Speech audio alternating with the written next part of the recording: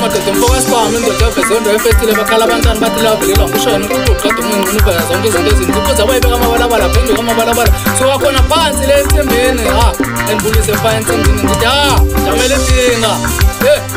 bathini kwakhanya umadoda e kubuka liyanda malume silvasi ulayeleni apha kubuka nathi ngoba